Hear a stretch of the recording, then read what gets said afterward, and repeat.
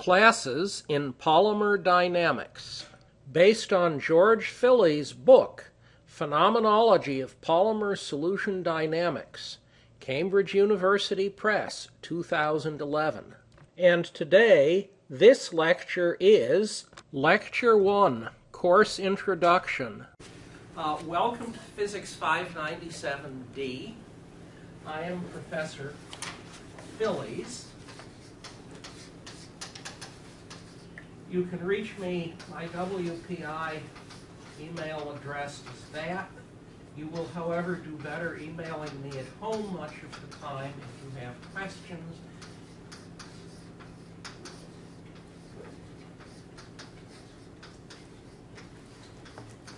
There.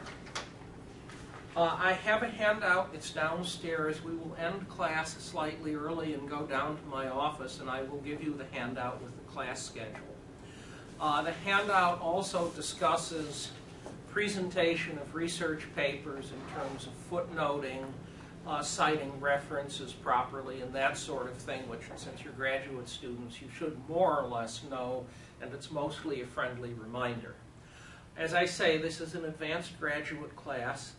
The objective of the class is to discuss how polymers move in solution.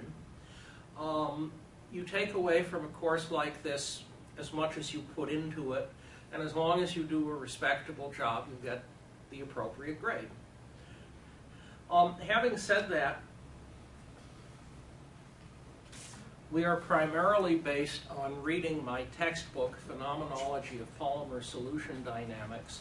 There's also a supplemental volume, which is the complete numerical tables, um, which probably do not need to buy for this course, but if you were doing research, you'd find quite useful. Okay, so what are we going to do? The course is 28 lectures. Uh, as I said, there will be reading assignments. I don't plan on having a midterm or a final. It is not the sort of course that lends it to what can you write down or say in an hour and a half.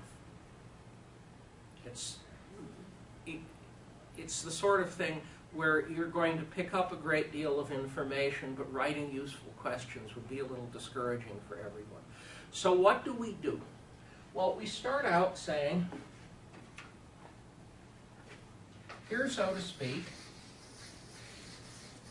is a polymer molecule. It is a long, stringy molecule if it's in a good solvent. That's a polymer molecule in solution. On the other hand, if you have a polymer molecule in a poor solvent, it will fold up in some sort of a ball. Now that one looks like a fairly well organized ball, and that is because it is the most important set of polymers in poor solvents. It's a protein. Water is a poor solvent for proteins, most proteins.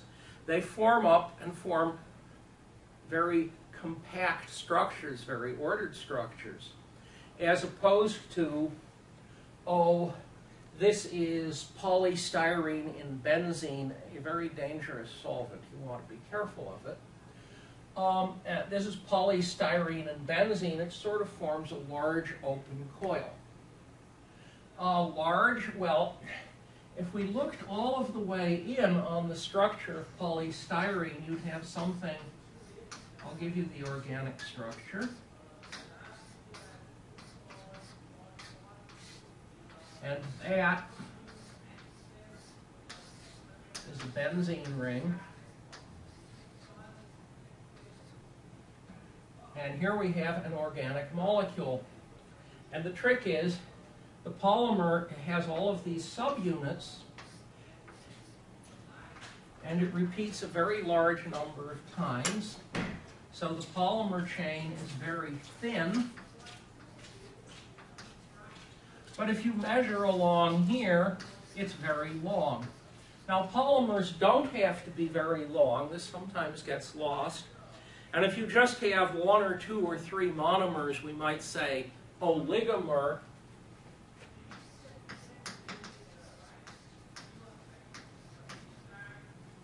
meaning N small instead of polymer, but that is a distinction without much of a difference. Um, if you think about things, you will also realize that something has to happen at each of these ends, or you'd have dangling bonds, free radicals. That would be very bad. So what are we going to do in the course? We are going to discuss how polymers move in solution. Uh, and then we are going to discuss a few other related topics. So having said this,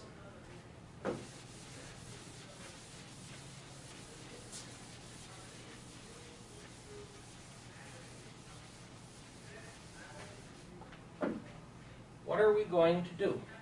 Well, in a certain sense, we are a piece of the course retraces the history of polymer solutions. If you go back to, oh, 1910 or 1920, people knew about modestly large organic molecules, say tetrasaccharides. And there was some supposition that that was about as large as molecules could get. um, people did know about proteins. Proteins were assumed to be association colloids, like gold colloids. The amino acids were stuck to each other. People knew there were amino acids in proteins. But the structure was completely random, and it was just things that stuck out of solution. We now know that approach is completely wrong. And it is in the 1920s that several people worked out experimentally that polymer molecules are actually very large molecules, much larger than the organic molecules that were known at the time.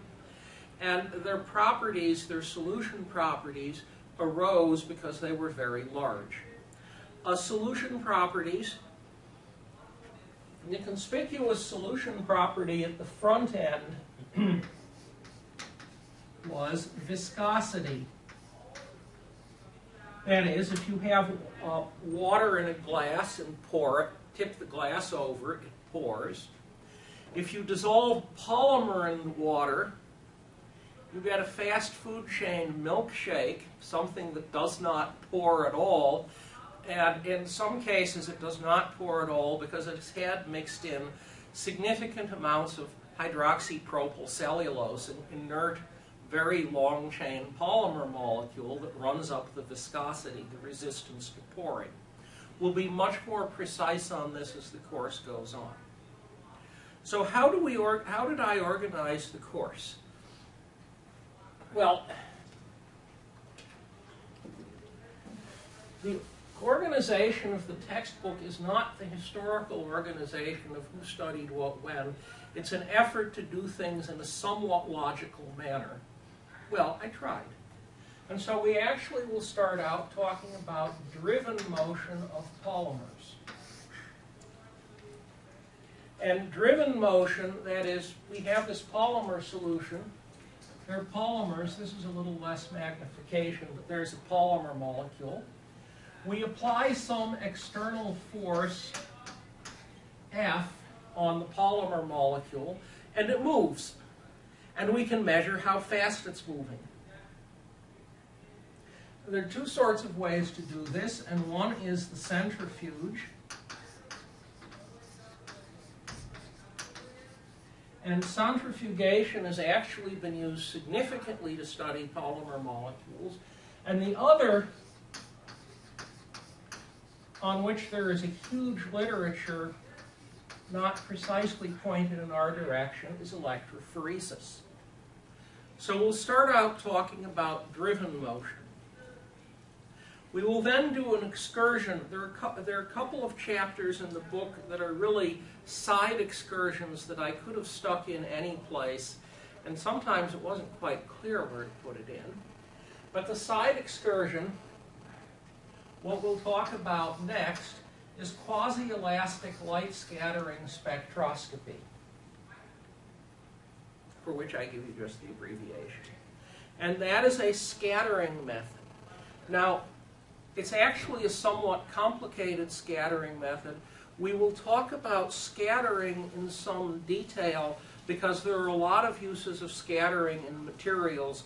Um, X-ray scattering, light scattering for molecular weight determination. We'll talk somewhat less about the details of how quasi-elastic works.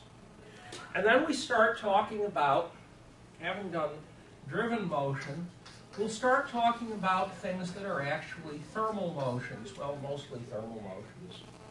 And we do this when first we will talk about single particle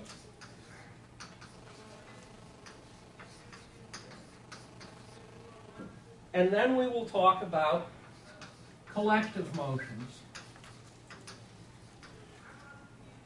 Now, when I say single particle motion, that is perhaps a little imprecise, so let me fill in it in a bit more detail.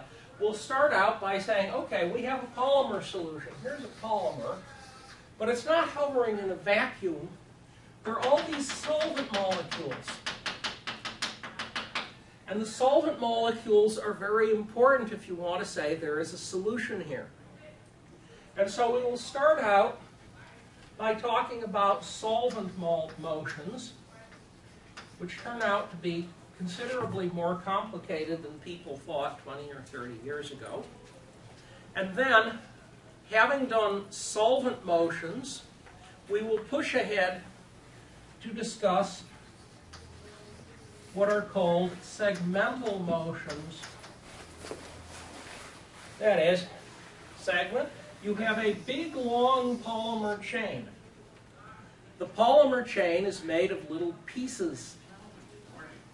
And there are several techniques that let us reach in and look at a single piece and ask how that piece moves. Just a second, I'm going to close the door.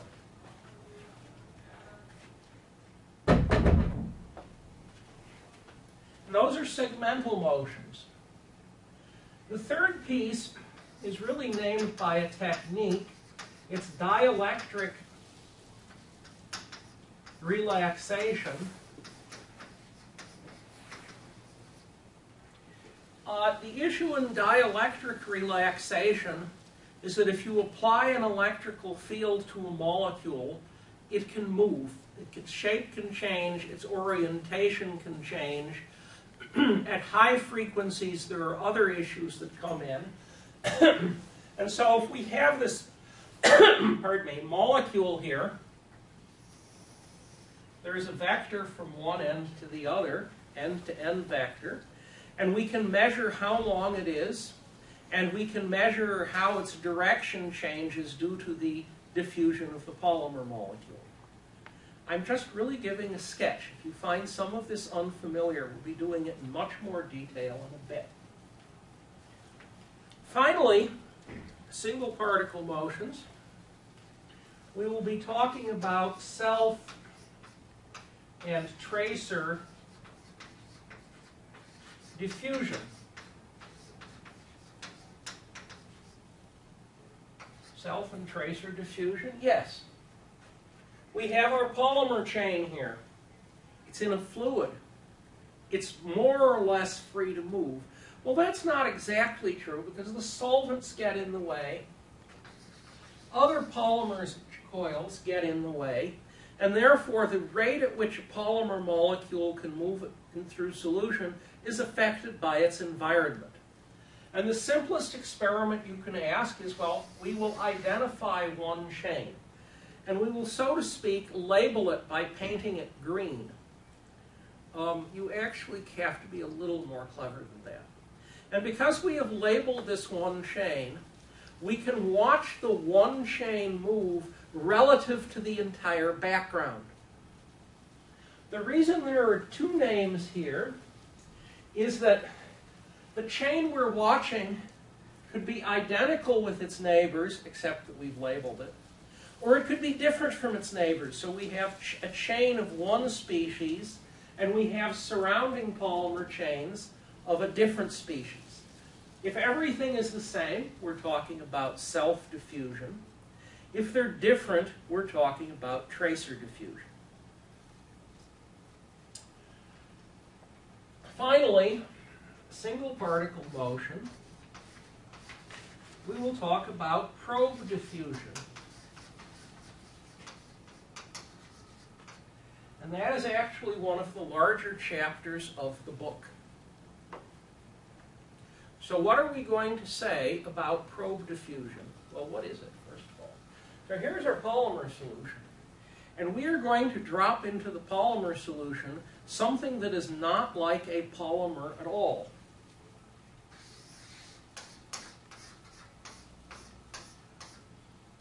And the representative object, there are several variations. You've got choices here, is a colloidal sphere.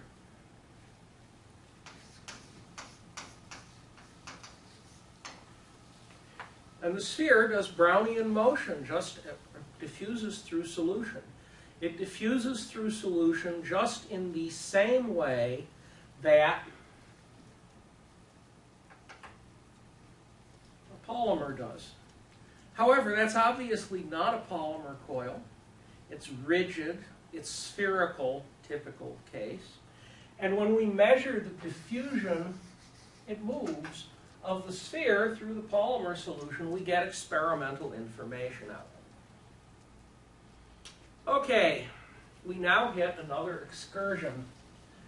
Uh, and I think we will start the excursion over here. And the excursion is colloid dynamics. You may assume that we're going to come back and cover all of this in a lot more detail, but I'm giving you a course outline. Okay, what is a colloid? A colloid is a microscopic or nanoscopic particle. It's produced by any of a wide variety of synthetic methods. The simplest colloidal particles are spheres, and colloids in liquids are stable. That is,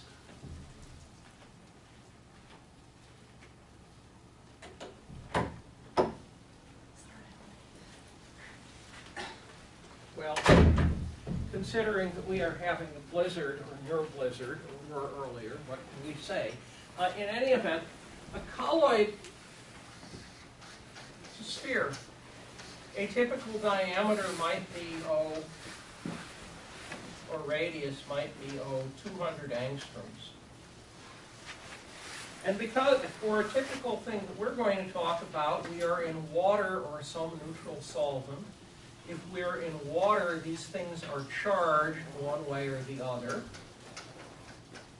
And the net result is that colloidal suspension is stable.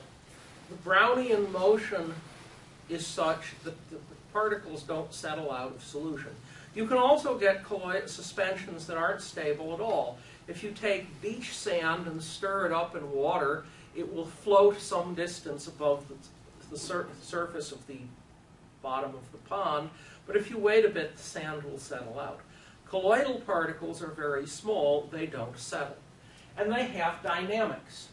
In fact, colloidal particles have more or less all of the same dynamic properties that polymer chains do. They can do all of the same motions in all of the same ways, more or less. Uh, the one exception is right here, segmental motion, Colloidal particles are rigid. They don't have internal motions. And this means in certain senses they're very simple. The other features of colloidal dynamics, though, which is important, is that the forces between colloid particles in solution and the forces between polymer chains in solution are basically the same. They're in a solvent, and that has a whole bunch of consequences called hydrodynamic interactions. We'll get to that later. And they can't move through each other. And as a result, there are a whole bunch, all, not only are all of the experiments that you can do on one or the other the same, but there ought to be some similarity if the forces are the same. The significance of this we'll get to later in the course. Um, okay, that's colloidal dynamics. And now, we will go back to polymers. I started by saying we'll study driven motion. Then we will study single particle motions or small pieces of particle motion. And now we get to collective motions. And by collective motions, I am referring to the notion that we have polymers in solution, and they have properties that arise because there are multiple polymers and they interact with each other, and the property is determined by the fact there is more than one polymer there. Simplest example, I'm going to plot concentration of polymer versus position. And we have a process known as diffusion.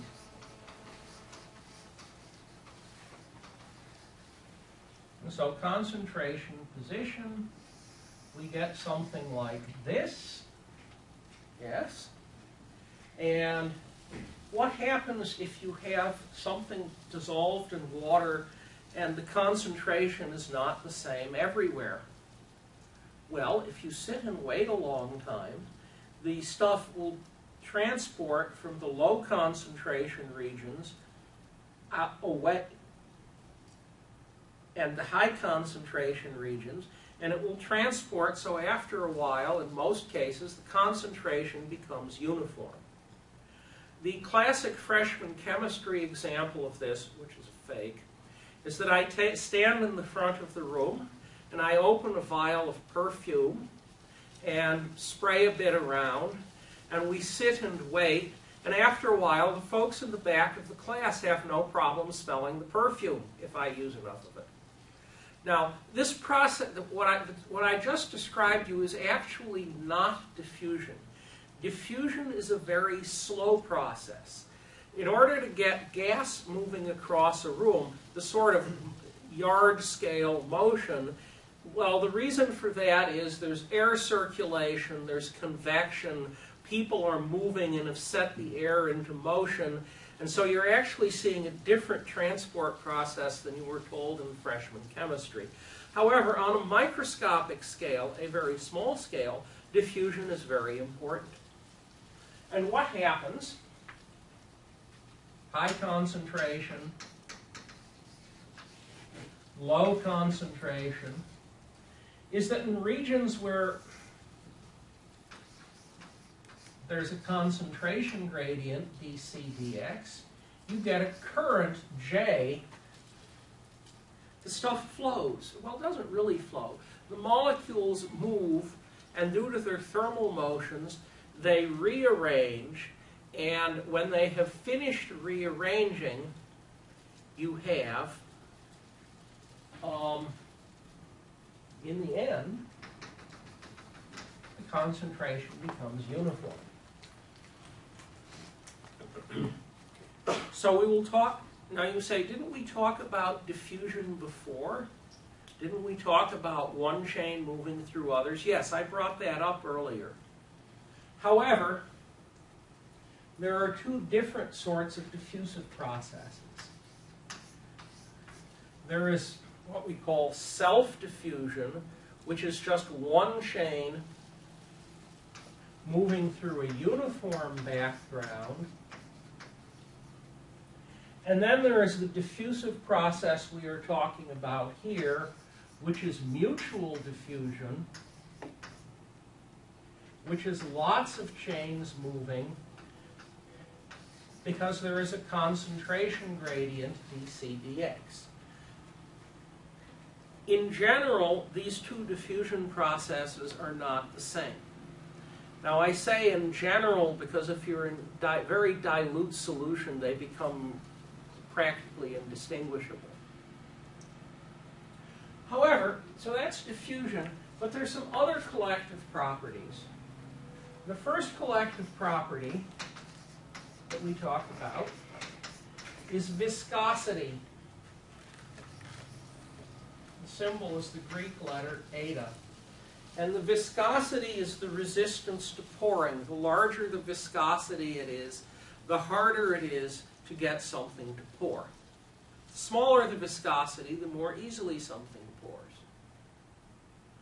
Then, beyond viscosity, we have what we call linear viscoelasticity.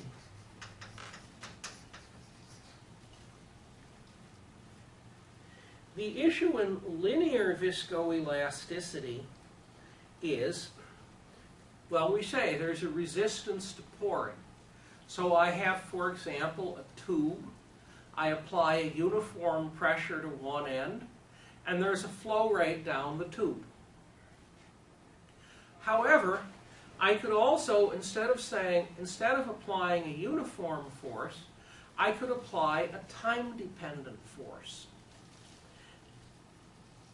Uh, for example, I have some the pipe, and um, the liquid is quiescent. It's just sitting there. I now turn on the pressure, apply pressure, and there's a transient while the fluid starts moving and comes up to speed. Uh, for, for simple liquids, um, you turn the force on and the fluid starts moving more or less immediately, except it may be compressible. For a polymer solution, life is more complicated. Polymer solutions behave as that, though they have little springs in them. We'll be more precise as time goes on. And so, for example,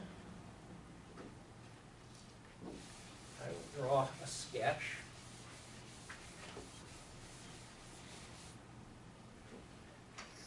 We are looking in from the side. There are two flat plates. And if this were simply water, and I oscillate one plate back and forth, so it's moving back and forth, there's a force on the lower plate. And if I simply take this plate and displace it a distance very quickly and stop, there is very briefly a force on the lower plate. With a polymer solution, if I take the upper plate and I displace this sideways, there's a force on the lower plate, and the force on the lower plate has an extended, lasts over an extended period of time, and it has a complicated time dependence. When we get to this, it'll become more clear. That's linear viscoelasticity. Why do we call it linear? Well, that's true, but there's another reason too. You're right, but there's another reason. And the other reason is, suppose I displace the plate sideways. Suppose I displace the plate sideways again. Each of these displacements on the, of the upper plate creates, it's a friction effect, a force on the lower plate. And each of these two forces depends on time and we ask, what is the force on the lower plate given that I've displaced the upper plate twice at two different times? And the answer is, it's linear. The force on the lower plate is just the sum of the force due to this displacement if it had happened by itself, and the force due to that displacement if it had happened by itself. Okay? Let's let you say, why do you bother to call it linear? And the answer is there is also nonlinear viscoelasticity.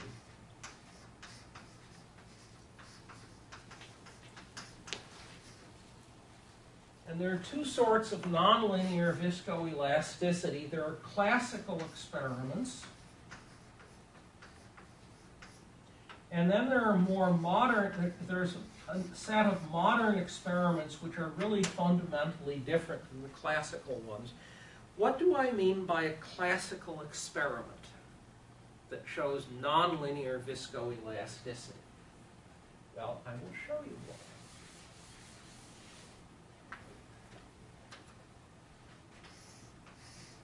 Here's a tub that contains a polymer solution or a liquid, some liquid.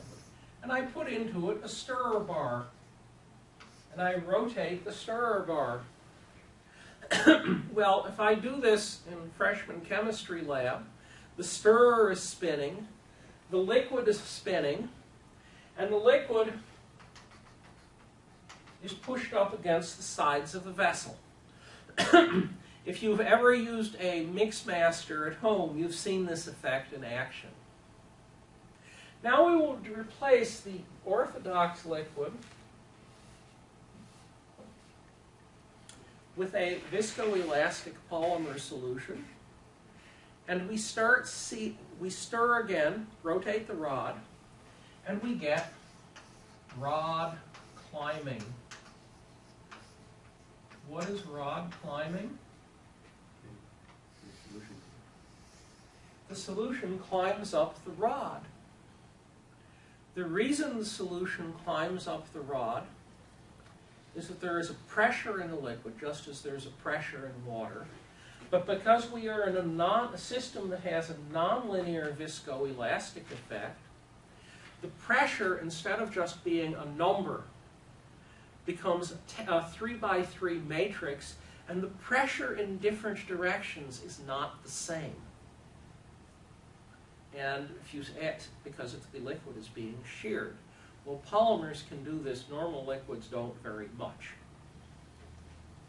So that is nonlinear viscoelasticity. Um, and I have now gone through and sort of run over rather quickly all of the topics that we're going to talk about. Okay, so how are we actually going to talk about them? Well, this is a course it says so in the book title, on phenomenology. Phenomenology is a study of what happens experimentally. And so we look at experiment and we let the experiments lead us to an understanding of how liquids work. Now, this isn't just a blind use of experiment. Um, there are several competing models, theoretical models, for how polymer solutions behave. And as you will discover as I lead you through the course, some of the models are good, and some of the models make predictions that are consistently wrong. And we will charge through, but we will be mostly focused, not completely, on what the experiments are saying. Um, the way we'll do that as a practical matter for a fair part, the book has all of these wonderful figures in them, and I will point you at the figures and I will draw sketches on the board, but my expectation is you will actually, for once, bring the textbook to class because we will actually be using it so I can point at the figures and you will have them in front of you.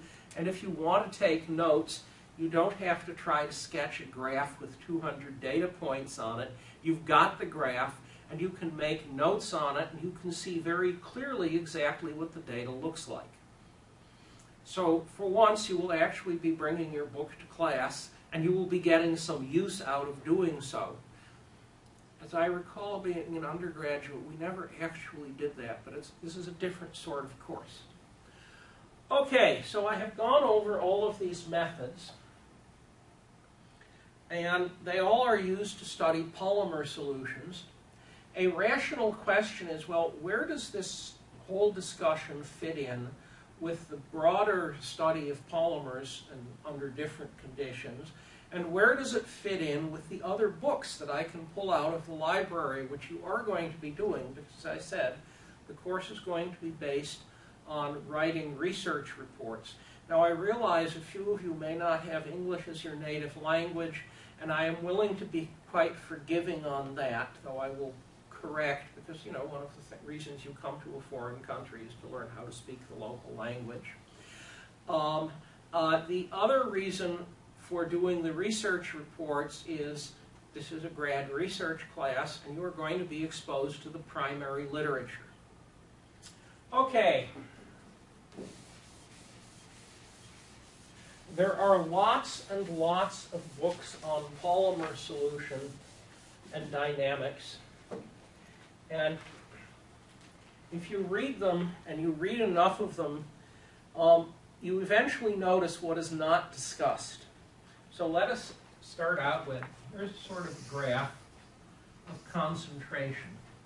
And we start out at approximately zero And here is the test tube, and there is exactly one polymer chain in it. That is as diluted polymer solution as you can get.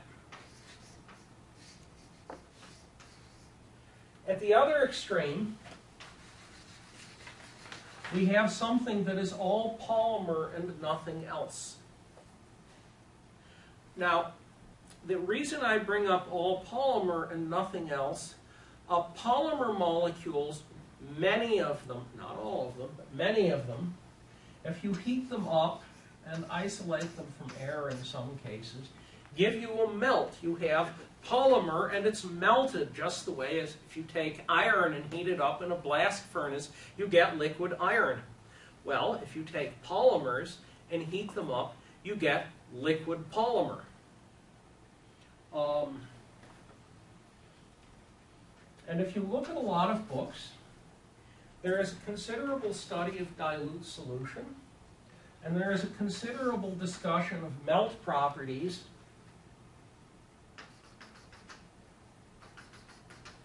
And if this were a 16th century European map, it would carefully be labeled, here be dragons, or something equally improbable. And there's sort of a gap.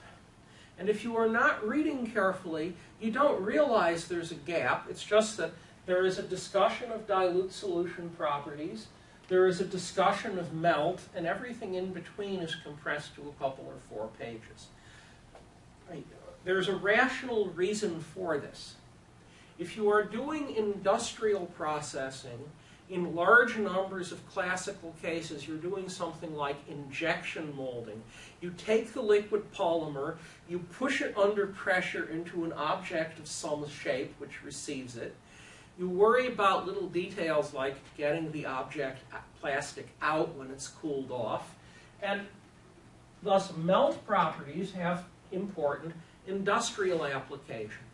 Or if you want to prepare thin plastic sheets, the things you use for kitchen wrap, well, you're doing film casting. You start out with the liquid, you start out with the polymer, and somehow you spread it out into being a film. Therefore, melt properties are very important. At the other end, over here, why would we care about dilute solution properties? And the answer is, you have a polymer, it has a length. It's a number of repeat units. But another way of saying the polymer has a length is that the polymer has a molecular weight. And you know about molecular weight, so we have water, and its molecular weight is 18 daltons and you have a polymer, it has a bunch of repeat units, and it has a molecular weight. Except the molecular weight of a polymer might be, oh, 300,000 or a million. It has become interesting for scientific reasons to prepare polymers of what historically would be viewed as huge molecular weights and people can produce polymers of molecular weights of, oh, 30 million or whatever. Then, of course, there is this huge field of research known as biotechnology where people want to study DNAs. DNA is a polymer. It has a very complicated structure which I would not care to try to draw on the board during one class, except by cheating. Um, and the important issue is the molecular weights you can get up there can be huge, like 10 to the 9. Some DNAs are much smaller in molecular weight, but you can get absolutely huge mo uh, molecular weights. And an important issue is, remember we're using melts to do industrial work? Well, the properties of the melt are substantially determined by the molecular weight of the polymer and, and the distribution of molecular weights, because polymers aren't all the same size, and the easy techniques for measuring polymer molecular weights work in dilute solution. And so if you are sitting trying to do industrial processing, you're also very interested in dilute solution properties because that's how the batch shows up on a truck. You'd like to know what the molecular weight really is, and dilute solution measurements get you that. Well, that's fine, except there's this big region in between. And the interest in this course is mostly in the big region in between. The region which is non-dilute.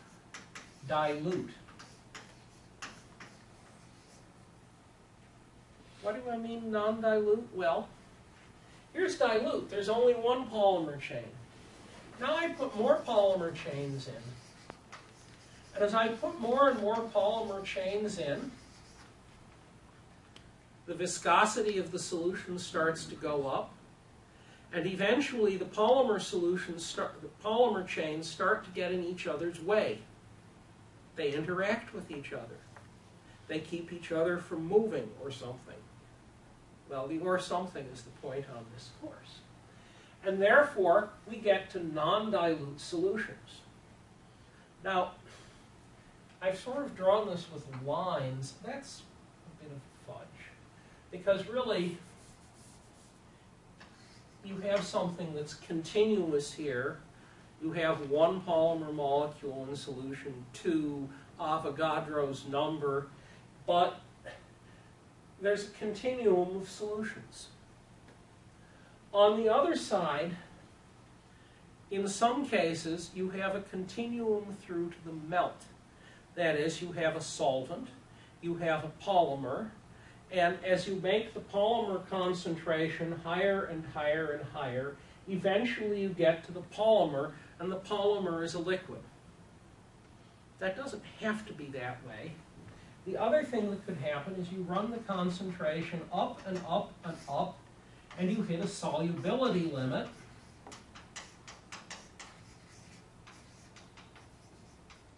And above the solubility limit, you have a solution, a saturated solution. And a second phase, you have a solid polymer. Hmm. Because at that temperature, you can only put a certain amount of polymer into the solution. That's like, say, dissolving sugar in water. You can dissolve a certain amount of sugar in water, but at some point, it just won't go in anymore. Um,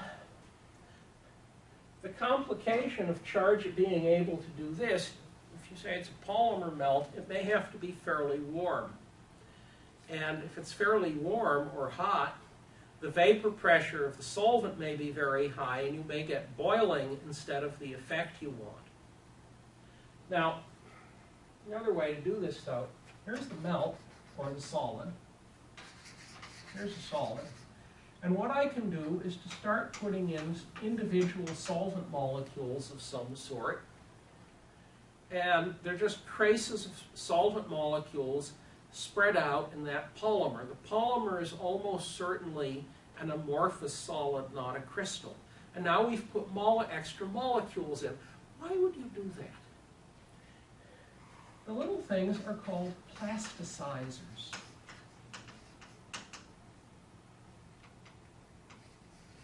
The plasticizers, so to speak, typically, lubricate the motion of the polymer, and as a result, you can, by dissolving small molecules in an amorphous polymer, you can change its properties.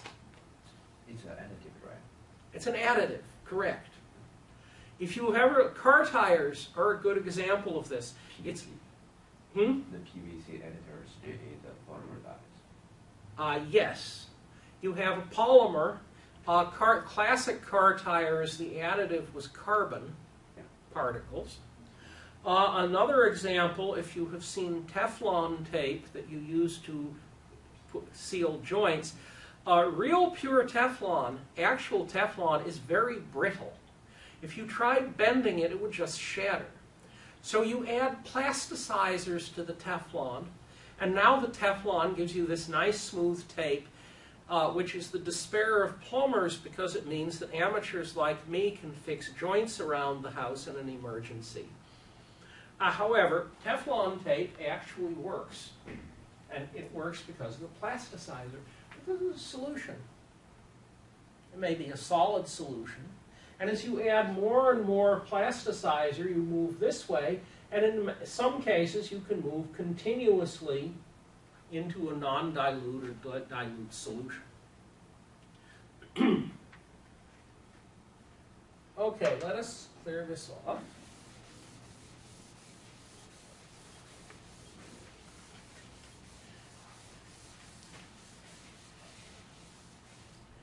Uh, the first chapter or two of the book and the introduction list a bunch of additional references on polymer solutions and their properties.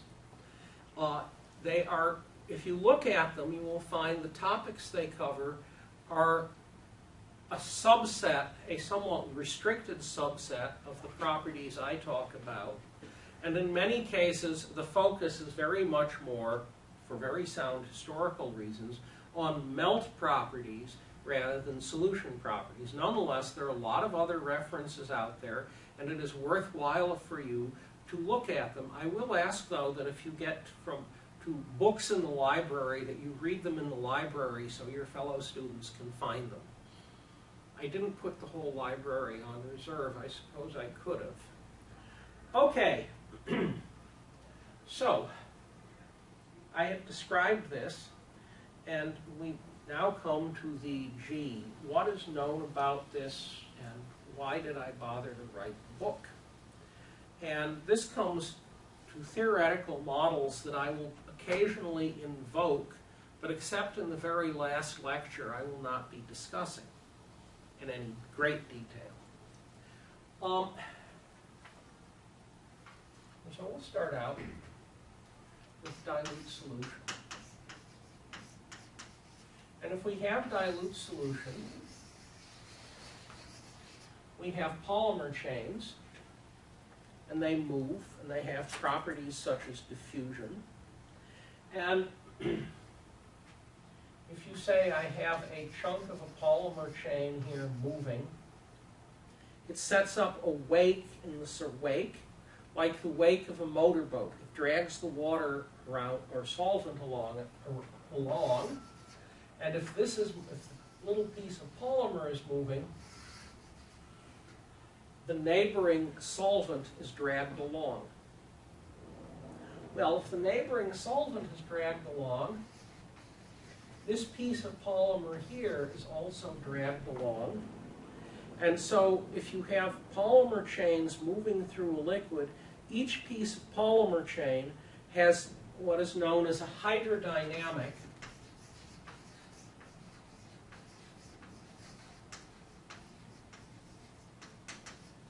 a solvent-mediated force that it creates on its neighbors. The solvent-mediated force is described by something known as the Oseen tensor. Um, tensor is a threatening word, but what it really means is, here's a point in the liquid. I apply a force on the liquid. The force is a vector. Over here, if I'm patient, the liquid, not very patient at all, but slightly patient, the liquid responds by moving with a velocity v, and v and f are not parallel. Well, how do I, how do I mathematically set up something that says I have a vector as the input, I have a vector as the output, and the two vectors aren't parallel to each other? If they were parallel, it would be easy. In the freshman physics cases, F equals ma. The force vector and the acceleration vector are proportional to each other and they're parallel, so m can just be a scalar, a number. Here, however, the two vectors are not parallel. And the question is, what do we do to generate one, one vector out of another? And the answer is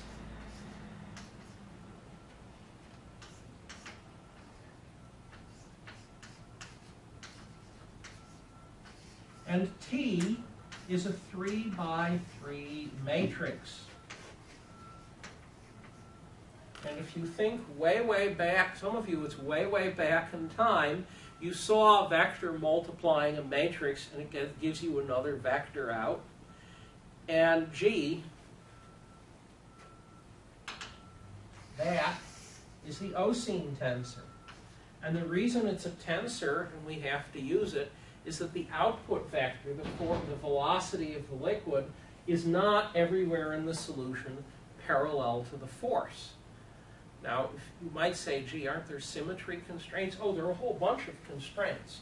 I said force, flow, but over here on the other side, vector is obliged to be a mirror image. We are not going to do this sort of math issue in a lot of detail. I'm going to talk about phenomenology, not about um, theory for the most part. So if you want to talk about dilute solutions, you can do calculations on single polymer chains. And if you do a calculation on a single chain, well, there are a number of theories. There's one due to Kirkwood. And Riseman. There's another one due to Rouse. And the third due to Zimm. The Rouse and Zimm models are actually quite similar, and they actually do calculations like this. And the, the objective of the calculation is, well, we have a polymer chain, we put it into a liquid. For example, how fast can the polymer chain diffuse? What effect does the polymer chain have on the viscosity of the liquid? If I take the polymer chains and I make them longer, use two different polymers for that actually. If I compare two polymers of two different lengths, at the same weight concentration, how do they affect the viscosity of the solution? And the answer is, that's why these theories are done, the viscosity is proportional to m molecular weight to some power, but it's not first power, it's some lower power. And we can do actually do theories like this. So that's dilute solution. However, if you try to take these dilute solution theories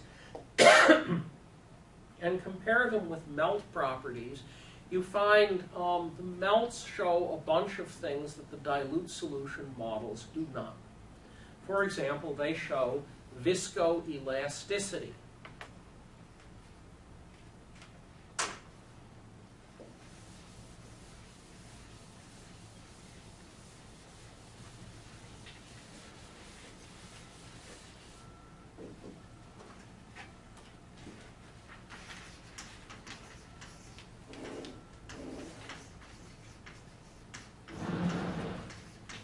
I will do a much more detailed sketch of viscoelasticity at a later time.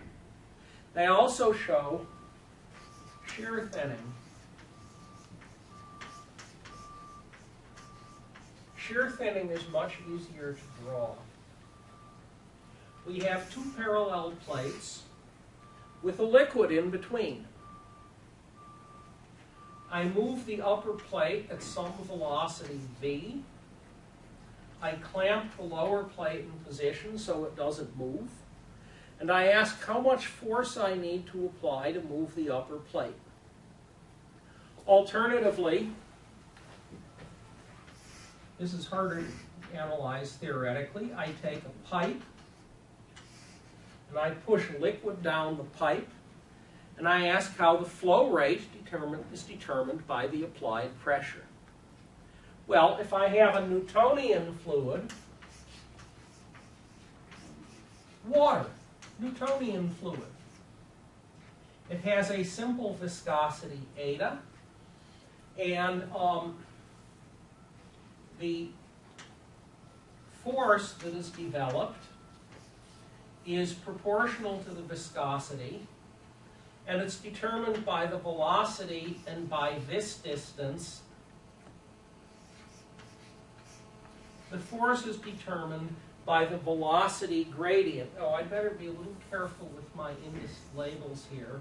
This is the direction z. That is the direction x. I have liquid moving in the x direction, but the velocity depends on the height z between the plates. So down here at z equals 0, the liquid is touching the stationary plate and not moving. And as I move up this way, the liquid is moving faster and faster and is eventually at speed v. And the force is determined by this constant and the, the gradient dvx dz. So if I push the plates closer together and keep v constant, v is constant, this distance delta z is smaller, so the gradient is bigger, and the force is bigger.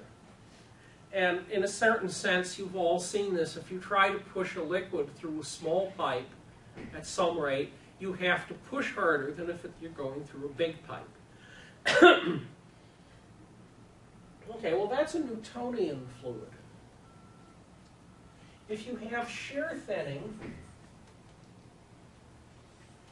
traditional symbol is kappa, Greek K, is dvx dz.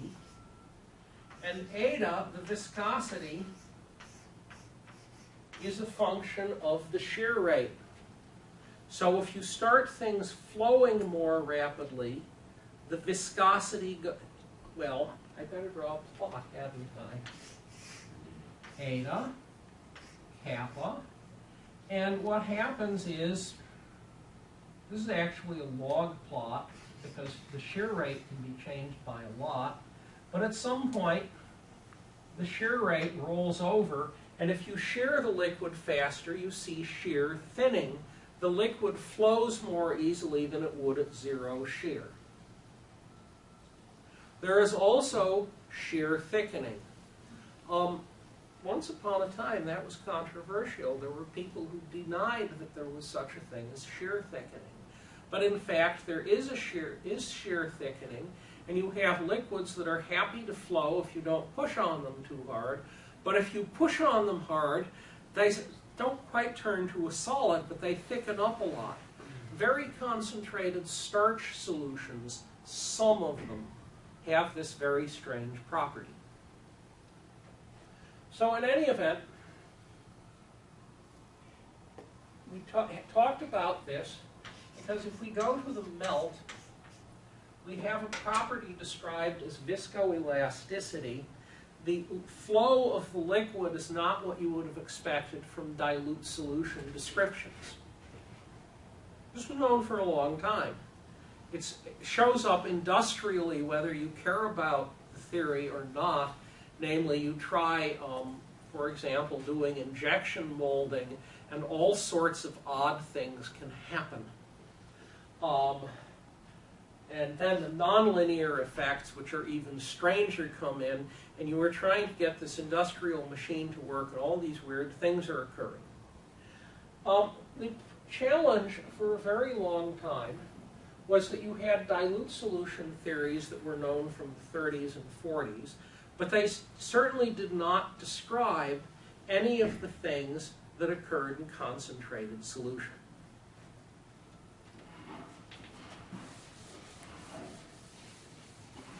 And so, there were a number of very different theoretical efforts to explain what was going on. Uh, this is not a theory course, so I am not going to do the theoretical calculations. I mean, I could. I think most of you would find this not to be why you were, wanted to be here. Um, some of you would find it why you wanted to be someplace else very quickly. Um, however, I should give a little sketch of the theory because I will occasionally invoke the theoretical model concepts. And so I'm going to give a few of them. And the first is what is known as the entanglement idea. And the entanglement idea is due in particular to a review by Bill Graessley. And I'm not going to give you a detailed history, the notion is, here is a polymer chain. Here's another polymer chain looping around it. And where polymer chains get close to each other, they can get wrapped around each other. Now, this is not a covalent bond. However, if you don't work, wait very long, if the notion is if you try to pull this chain this way and that chain that way, the chains aren't physically bonded, but it's like untangling two pieces of um, string that are round, well, wrapped around each other. They tend to stick even though they're not fastened. And entanglements, as an idea, tended to explain the viscoelastic effects. That is, if you have two chains, if they're very short, they really can't knot up each other. But if they're long enough,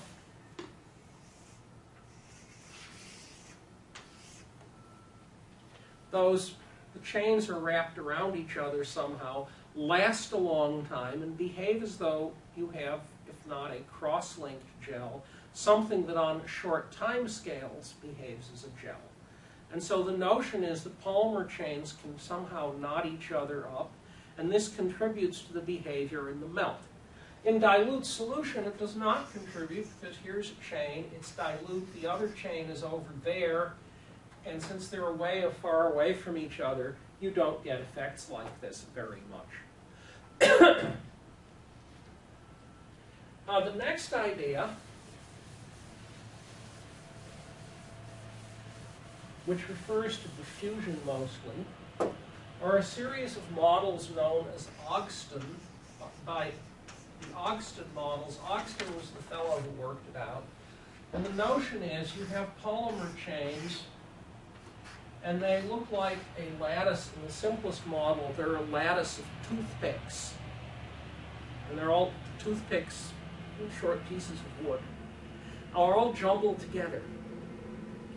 And if you are something trying to diffuse, move through this lattice, you have to find a hole that is big enough for you to get through.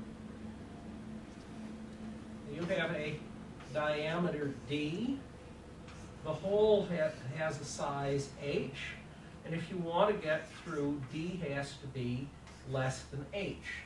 Now that is not exactly correct, but this is the starting point of these models, and the models explain why, for example, um, if you try to measure diffusion in a polymer solution, suppressed.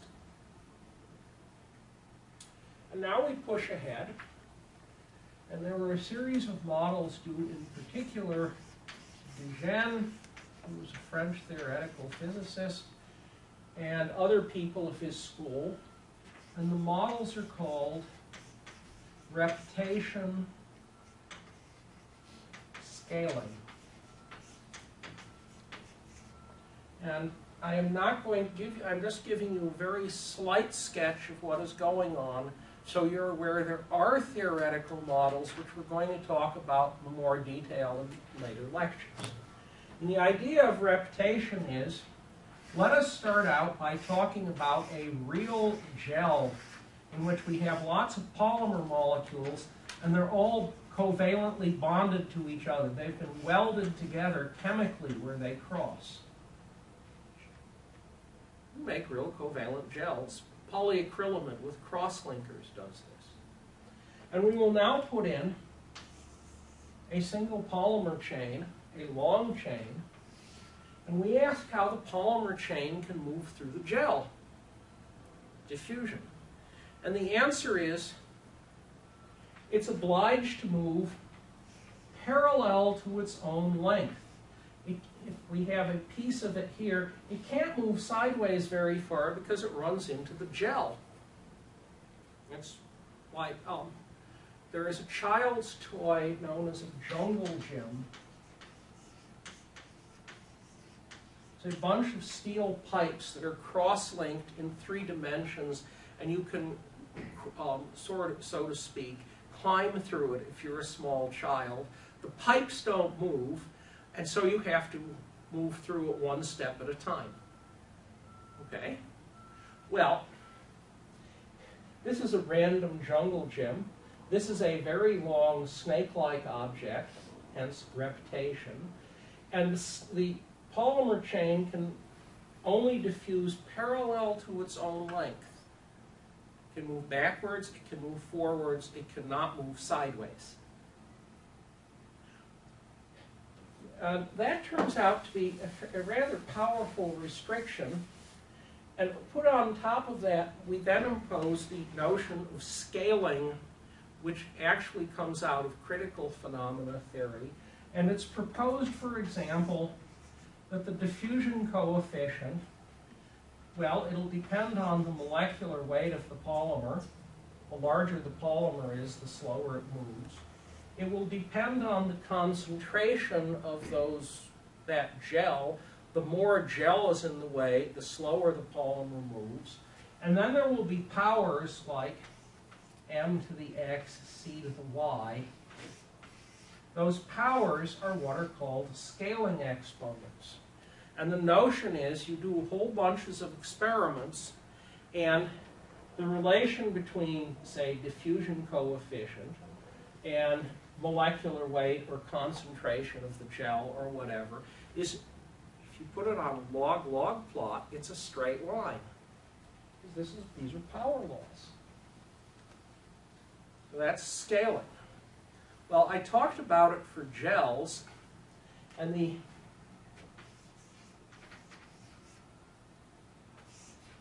radical extrapolation is to say that a polymer solution basically behaves like a gel. This is the de Gennes proposal.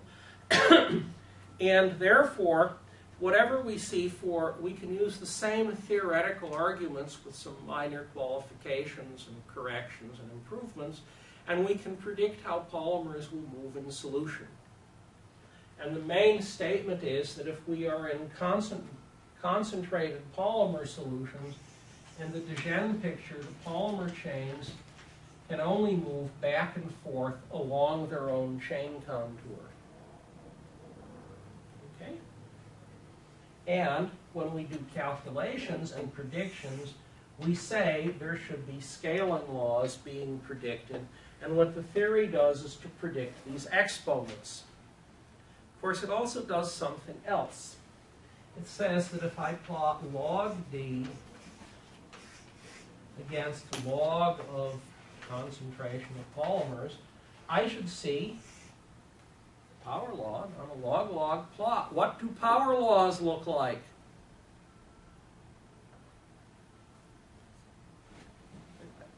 Someone must know this. They're straight lines. If you take a power law and you put it on a log-log plot, it becomes a straight line. Well, it looks like a straight line anyhow. It's linear, so from Observe. d proportional to c to the x, log d is proportional to x log c.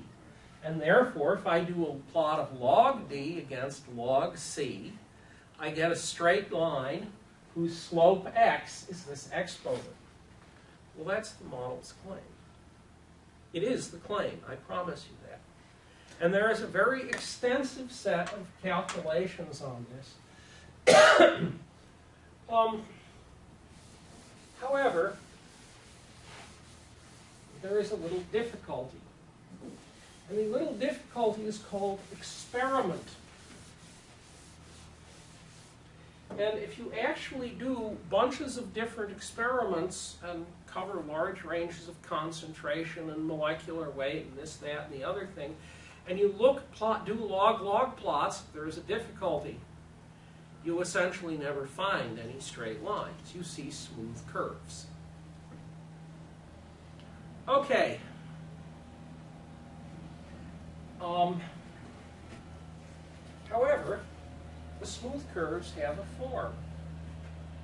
Oh, I'll put up scaling first. We will look at, say, the diffusion of a polymer chain through a solution. And that's simply a representative transport coefficient. I could talk about viscosity or bunches of these other things. But here is an example. It's the diffusion coefficient of a single chain. And as you increase the concentration of other chains, the diffusion coefficient slows down, and it's supposed to slow down as a power law. This is not what happens. And we will spend much of the course where I will show you that instead, the diffusion coefficient goes as some zero e to the minus alpha, that's a constant, c to the nu, that's another constant. This is a functional form known as a stretched exponential.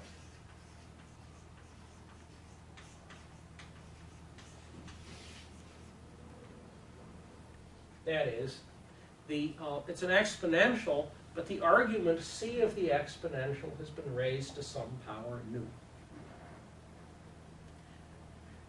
Um, that was first found more or less empirically, mostly by me, uh, since I was the one doing that particular chunk of work. And the, uh, the, if you come up with a form, an empirical form, what you find is people are saying, well, that's very nice, but um, there's no theoretical basis for it, which is a polite way of saying you better find a theory that predicts this because otherwise people won't believe you. And that would be the last lecture of the course, the hydrodynamic scaling model. Okay, we have gone through, and I've said something about polymer transport properties and the ones we're going to talk about. And I have said a fair amount about, at least a bit about what each of them is. I talked very briefly about theoretical models that make predictions. There's actually going to be a lot of theory interwoven with the course it's going to be presented mostly in terms of results as opposed to here is a calculation and you can use it to do more calculations yourself. Um, so we're going, the course in that sense is going to be descriptive a little bit more than it's going to be formal theoretical. Uh, the one large exception to that is when I talk about scattering, but scattering is something that is extremely useful even if you're doing, oh, solid aluminum and you study the crystal structure with X-ray or neutron scattering, it's the same scattering theory. Well, so where does that leave us in terms of what we're going to do? What I would like you to do for the next time, let's see, we next meet next Wednesday, is I would like you to go in and I would like you to read reasonably carefully uh, the first chapter and the introduction, there are a couple of forwards and introductions, and they actually contain important things. And I would like you to read the first chapter, which gets you through page 9. And I would then like you at least to have looked at chapter 2. So, read carefully chapter 1 and at least skim chapter 2. Now, there will be bunches of things that are sort of referred to uh, that I don't describe in detail in the book because, to some extent, the book was written for people who have some background in polymers. And it may be you are going to hit a fair amount where you ought to do your own reading so that, for example, when you skim chapter 2, you will find a reference to good polymer solvents and poor solvents and theta solvents. And you would be sensibly advised when you hit something like that, um, do some sort of internet search or whatever. The internet makes this incredibly easier than it was when I was a graduate student. Um, and see that you've at least, and see what the topic is and get some information on what is being discussed. So I say this is an, this is an advanced graduate course. Uh, what you get out of the course will very much depend on what you put into it. If you just do exactly what I say in terms of reading, um, it will be true, but there will be a lot more that can be obtained if you do some more searching. Uh, also, which is much, much infinitely easier than it was 15 years ago. For example, you hit chapter 2, and I say all of this can be traced back to the paper by Langevin and Rondelez on theory of sedimentation of probes. Well, that's a footnote. You don't even have to walk over to the library anymore to pull it off the. Find the volume, hopefully it's on the shelf. You can simply pull it down off the internet. You have the paper and you can see what they talked about. And when you are doing the reading assignments, I will tell you, for example, the first one, will, actually I'll tell you what the first reading assignment was. It will be on electrophoresis, and it will be to take a year of the journal Electrophoresis, pull out the papers that are similar to the ones we talk about. That is only a small fraction of them and see what they say or, or could be used to study that is not the same as what you've studied already or seen in the book. And I'll go into much more detail on what that means, but it'll be a literature search, and it'll be the sort of literature search where you know about where to look, but there will be a whole lot of wonderful papers, superb papers that have nothing to do with the topic you're interested in, and I will give you some hints for finding the ones that you should care about. Okay, so I have two minutes left, and the question is, why did I bother to write the book? And the actual answer is, there had been this very long period going back from, oh, 85 to about 2000, where I had had a dispute with some of my colleagues as to what the experiments actually said about polymer dynamics. And they would say, well, you should look at this or you should look at that. So, I looked more or less at everything. This is a, I won't claim I found every paper, but I looked at more or less every sort of experimental measurement. And then I added the colloid discussion, and, and you will discover what the um, colloid discussion you cannot find in any of the other polymer references. I added the whole discussion on electrophoresis as a probe of polymer dynamics, and you will not find that anywhere else because it's essentially, yeah, there's wonderful studies of electrophoresis for a long time. My contribution is saying you can use it to understand polymer dynamics as opposed to biochemistry. Um, so that is roughly where we are.